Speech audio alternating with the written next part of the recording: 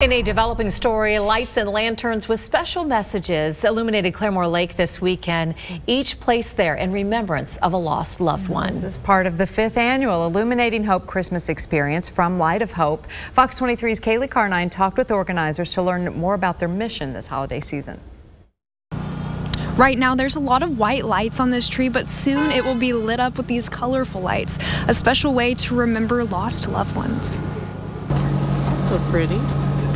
That's a cool idea. Twinkling lights, the colorful ones representing those who brought color to life. The Claremore nonprofit Light of Hope is a group that helps people struggling with addiction. But Executive Director Nancy Phelps says this group is here for anyone in the community this holiday season and beyond. The holidays are a special time. Uh, we love being together um, but there's a lot of people that don't have anybody to be together with, so we are that family. Jennifer Timberman is one of those people who says she feels like she's part of the Light of Hope family. Saturday, she placed a light in honor of her father, who passed away three years ago after he was killed in a hit and run. He could take you to Sunday school any day of the week. Um, he always had a great corny dad joke, um, and he also was uh, in his hobby. He wrote songs.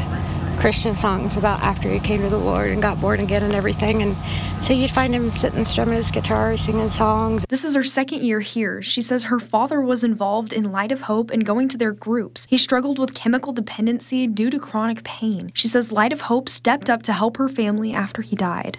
It's not just the charity side of it. For them, it's it truly feels like when you interact with them, it's a calling. It's, it's something that they were called to do, and they answer that call for the community. And it's irreplaceable. It really is. Curtis Welch agrees that this organization is irreplaceable. He says he was addicted to drugs for 45 years. He says he got out of jail on a Thursday and walked into the Light of Hope building on a Friday. He had no idea he was walking into a new life. In his 60s, he learned to read and has been sober for over two years. Not learned, not knowing how to read has kept me in the dark.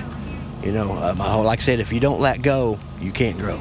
You know, and that's what I've had to do. This holiday season, as these lanterns and lights glow, the people here want to offer everyone a light of hope, no matter what season of life you're in. In Claremore, covering news that matters, Kaylee Carnine, Fox 23 News.